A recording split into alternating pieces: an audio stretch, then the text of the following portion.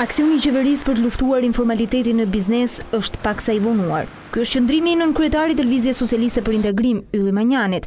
Sipas tij, reformat e mëdha s'duhet të kenë një datë të caktuar për t'u përmbyllur, por e rëndësishme është të realizohen sa më shpejt. Ai kërkon që qeveria të fokusohet për të ngritur një ekonomi të qëndrueshme, pra duke e rikonstruktuar atë përmes reformave.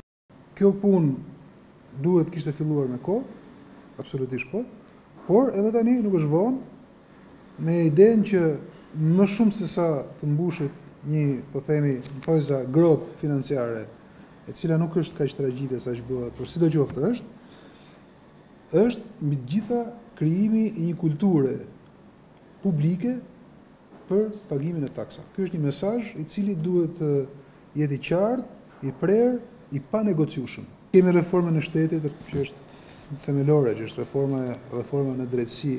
Në radhë të parë ne duhet të mendojmë sinqerisht që të strukturojmë ose të ristrukturojmë ekonominë shqiptare. Sepse jam përkrahës i pikëpamjes që një ekonomi e shëndoshë të jetë një shtet të shëndoshë, një shoqëri të shëndoshë. Këto dy reforma janë reforma që nuk duhet të kenë një datë, mendoj unë, nuk fillojnë sot dhe nuk mbarojnë sot, ata duhet të fillojnë sa më parë që të mbarojnë sa më parë. Manjani ka komentuar edhe apelin e kryebashkiakut Veliaj për uljen e çmimeve të apartamenteve stok, në të kundërt do të taksohen për to. Sipas tij, nuk është as bashkia as qeveria që vendos për çmimet. Çmimet nuk i vendos as bashkia, as qeveria, as po qeveritë apo bashkitë ndikojnë, por jo se vendosin çmime. Ashtu siç nga ana tjetër, ana tjetër e medaljes është që edhe një farë mbrojtje për konsumatorin i cili lihet thjesht në në mëshirë të tregut duhet dhënë.